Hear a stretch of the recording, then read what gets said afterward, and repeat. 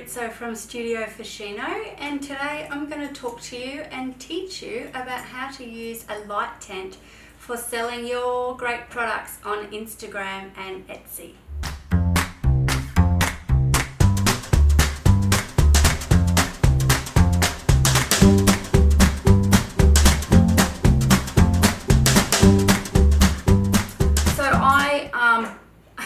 A friend of mine who has a homeware store and she um, bought or I, I advised her um, after she rang me and said Megan how do I get good product photos um, of my stock and put them she sells them online on on Instagram.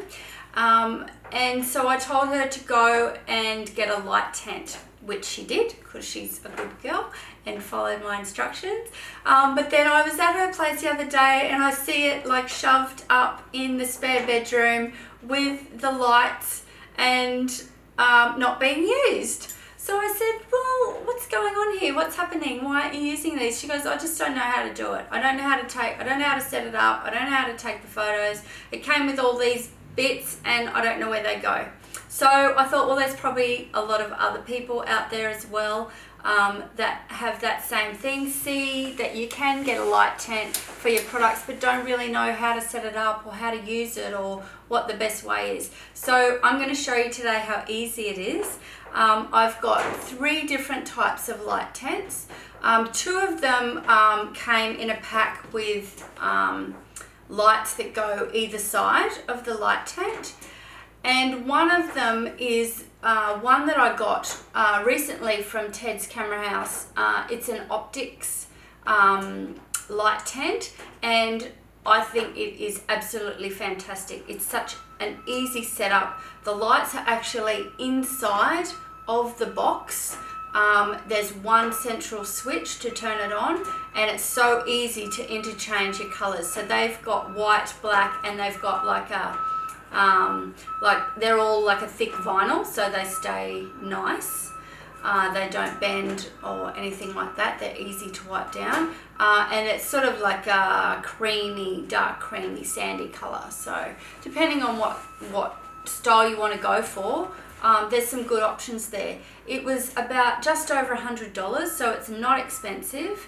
Um, and I've done a couple of sample shots to show you how easy it is um, to shoot a product. I've just grabbed stuff from around the studio so I know that um, pe people who have shops have you know much more interesting stock than what I have um, and also people who sell on Etsy that hand make beautiful creations too. This is just ideal. It's not a huge outlay um, and it's just something that you can have set up on a table in a spare bedroom, turn the light on and take the photo.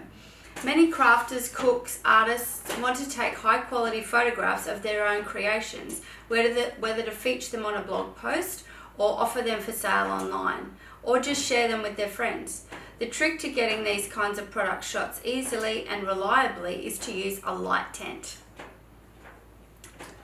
I'm going to teach you today the fundamentals of shooting with a light tent to help you capture bright, high quality product photographs every time. A light tent or light box is a contraption with translucent sides that diffuses light coming from multiple sources.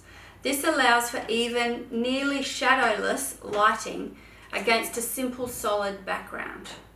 You'll see in the video here that you can also open uh, the top of the light tent. So there's the hole in the top and you can easily, um, because the lights are seamlessly sitting inside of the light box, um, you can just open the top flap, velcro it back, there's a space to do that, which is great, and then simply pop your camera or your mobile phone into the top or just sitting over the top and take the photo looking down onto your um, product really good to do um, side by side. So you get one image from the top and another image from the front of the box and put those side by side. It gives people a really good idea of the product.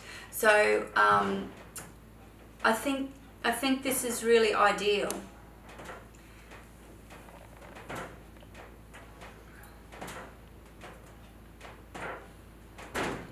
So once you've got your light box set up um, and you've got you, you know, depending on what light box you've got, but I'm going to sort of go with the ones that I've got here in the studio with the demonstrations. You can see the light goes either side um, and it can be, and it's diffused. Um, the traditional ones only sort of shoot from the front, so you're looking at the front of, of your subject.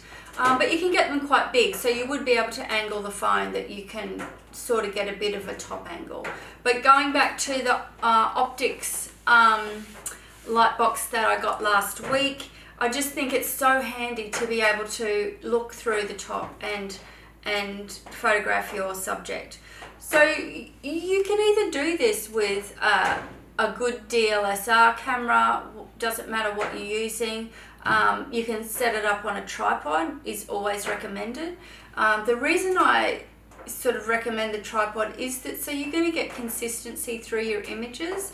So you're not going to get different angles and I've looked at some beautiful Instagram and some beautiful Etsy sellers and they just look flawless. I mean, look if you look at my Instagram, um, what it what's it called? The log or the scrolling or what that thing is with all the boxes.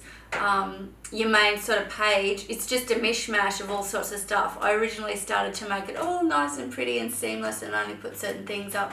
But then life happens and so you go oh I'll just share this that and the, the other. So but I have seen some beautiful um, some beautiful Instagram pages where products are just displayed so well. And there's a consistency through all the images which I think is really appealing uh, to buyers if only I could do that myself.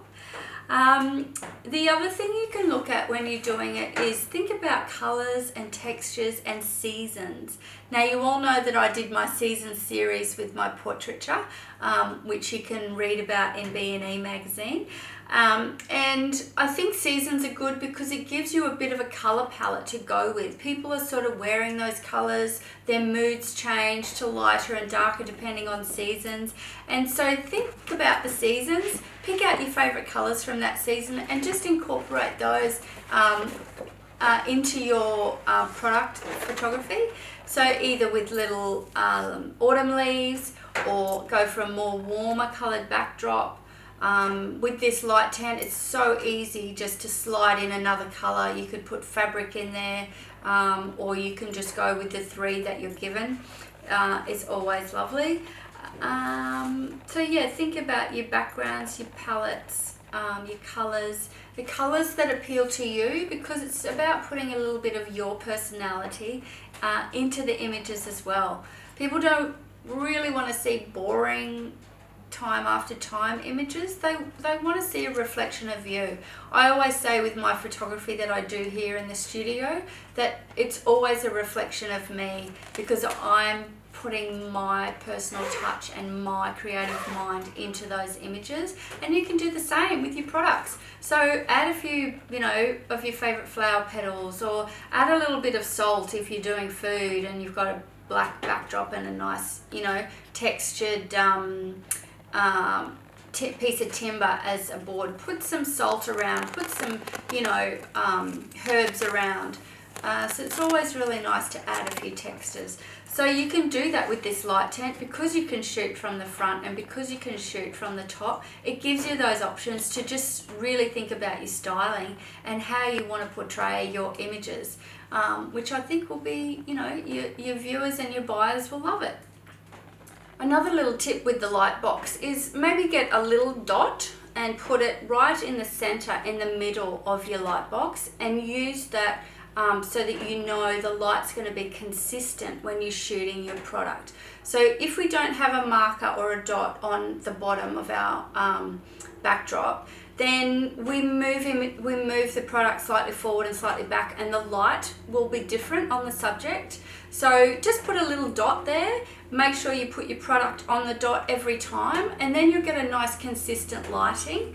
Um, and I will show you uh, in the light tent the, the little strips of LED lights that are in the Optex light tent and you'll be able to see they can be moved if you want to have them further out um, or they can be moved directly on top of your subject. It also comes with a little um, diffuser that you can clip on the top and that will um, diffuse the light so it's a little bit softer.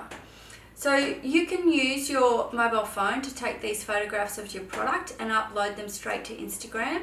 Um, I will I have other tutorials on editing your photos on your mobile phone so I'll you can watch that to find out how to do that but it's really easy. If you've got any questions at all about how to photograph uh, products for Etsy and Instagram uh, in a light box just ask below. I'll always answer them. You can follow me on Facebook at Studio Fascino or on Instagram at Studio Fascino and uh, ask me any questions that you'd like because I'd love to um, engage and talk to you about your product photography and I'd love to have a look.